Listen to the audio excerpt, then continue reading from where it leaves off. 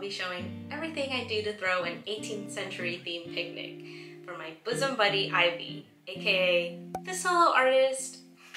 As often as we can manage, we like to have a fabulous get together, often with themes to inspire us to work on certain projects.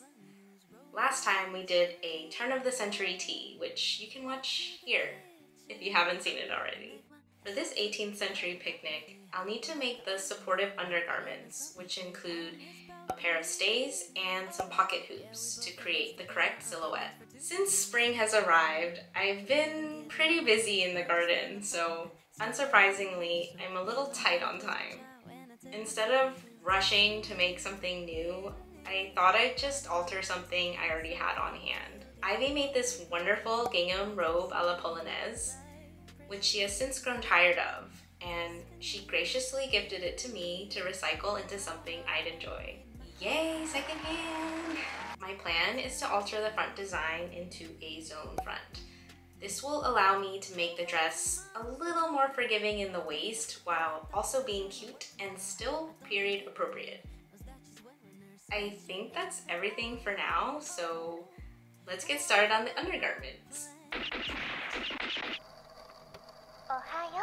For the stays, I used Simplicity Pattern 8162. I'm not going to show every step of the process as the pattern is pretty straightforward and there are already many YouTube videos where people followed along this pattern, but I will mention some things that I chose to do differently.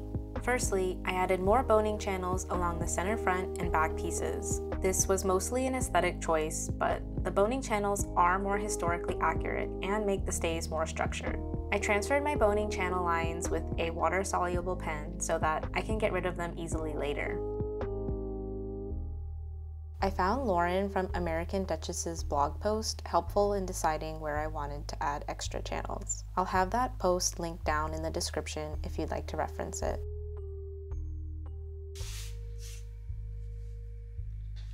Here you can see the pattern that I ultimately ended up with.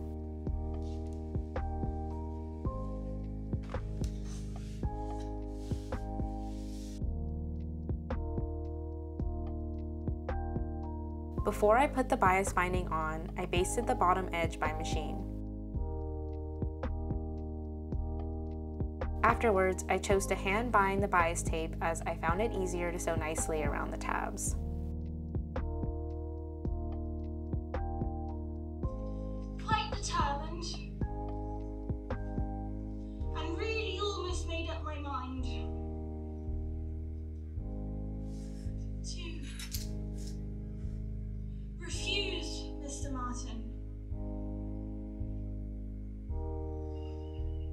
Refused.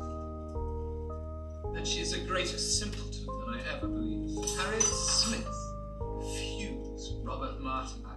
He's Frank Churchill now, Papa. He's his uncle's heir. When he came of age, he took his uncle's name. I so long to meet him. But how do you know he might surprise us? For the boning, I used half inch plastic zip ties and a quarter inch synthetic boning.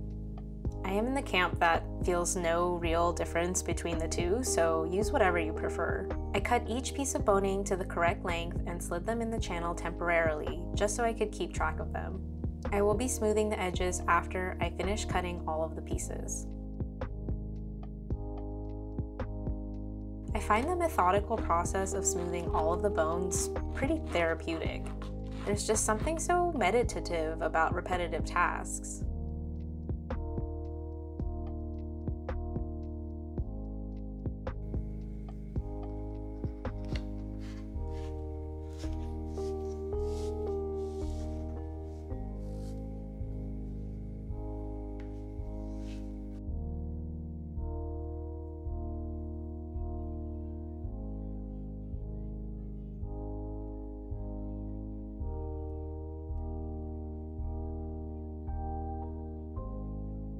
Lastly, I changed the spacing of the eyelet holes from crisscross to spiral lacing. I also chose to hand sew the eyelets over using grommets as it's more historically accurate and I feel like the green color of the stitching adds a lovely touch to my stays.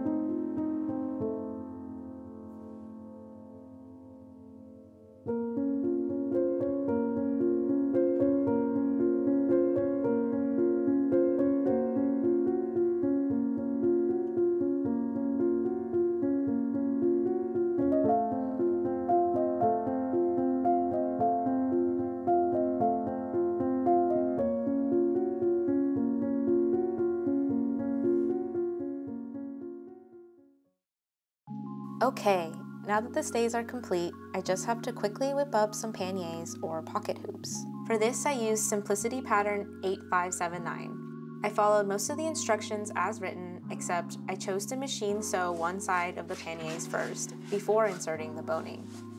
I found that a lot easier than wrestling with the boning while finishing both sides afterwards.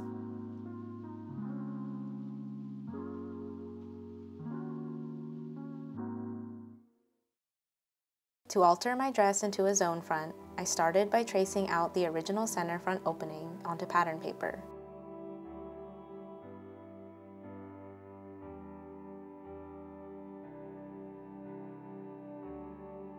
Once I had those lines, I added a 1 and 1 quarter seam allowance to the center front.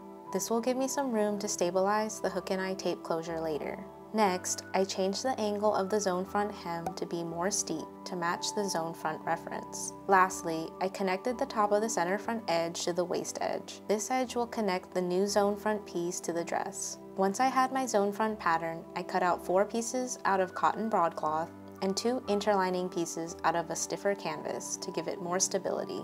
I ended up cutting the outer fabric on the fold because I'm lazy.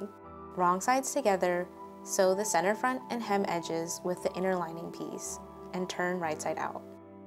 After removing the hook and eye tape, I matched the new piece to the front of the dress, folding the center front edge at approximately the same angle. Satisfied with the fit, I reattached the hook and eye tape to the new center front on the zone front pieces. Hook and eye tape is so satisfying. Now just sew the angled edges to the dress and voila, we're done! I'm really happy with how the zone front alteration turned out. It looks so cute and it fits way more generously around my waist. I added some new ribbons and paper flowers for some extra femininity, and for the final touch, I paired my outfit with some vintage thrifted gloves and my upcycled apron I made in my Making Bells dress video.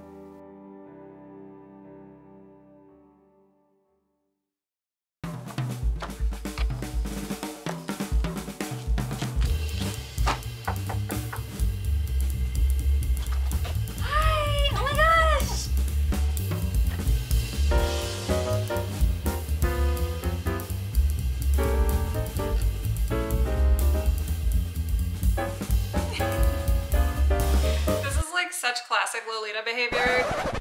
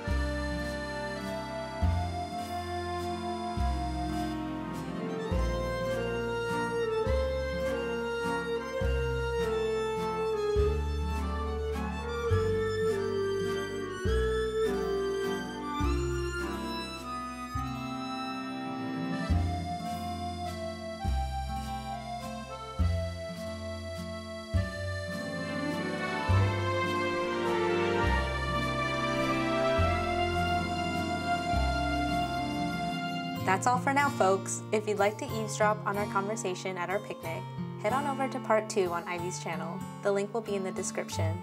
Thanks so much for watching, you guys. I hope you enjoyed watching our silly shenanigans. We are all out of Prosecco, so we will see you next time. Bye!